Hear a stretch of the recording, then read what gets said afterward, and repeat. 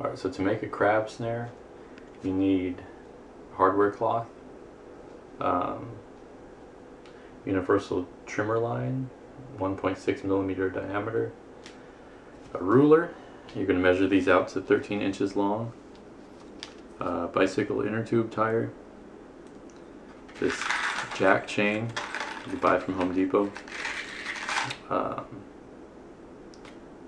needle nose pliers, and uh, metal trimmers for the hardware cloth. You also need these little electrical connectors. Uh, it came in two parts. There was a blue part here and I cut it off.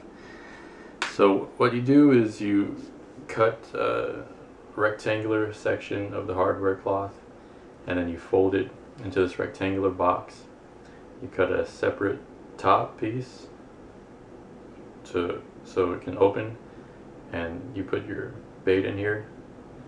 And after you have the box you take your uh, universal trimmer line.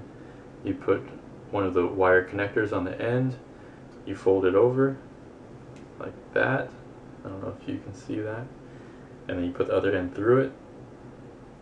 Once it's through it you connect it to each corner of the box and two in the center and that's your crab snare.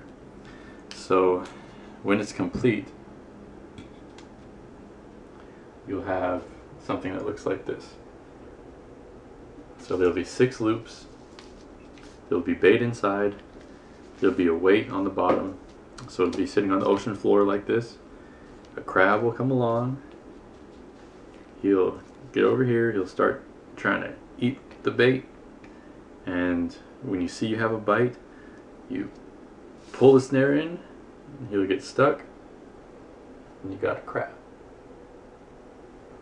To demonstrate it on the cat.